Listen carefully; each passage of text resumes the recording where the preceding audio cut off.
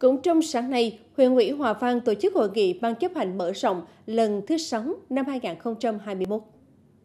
Tuy gặp nhiều khó khăn do đại dịch Covid-19, song 6 tháng đầu năm 2021, huyện ủy Hòa Vang đã chỉ đạo lãnh đạo và tổ chức thực hiện tốt cuộc bầu cử đại biểu Quốc hội khóa 15 và đại biểu Hội đồng nhân dân các cấp nhiệm kỳ 2021-2026 với tỷ lệ người dân đi bầu cử đạt 99,80% huy động sức mạnh của cả hệ thống chính trị, thực hiện quyết liệt công tác phòng chống dịch COVID-19, đi đôi với chú trọng phát triển kinh tế, đảm bảo an sinh xã hội. Chủ đề năm 2021, năm quy hoạch, khu phục và phát triển kinh tế, đạt nhiều kết quả tích cực.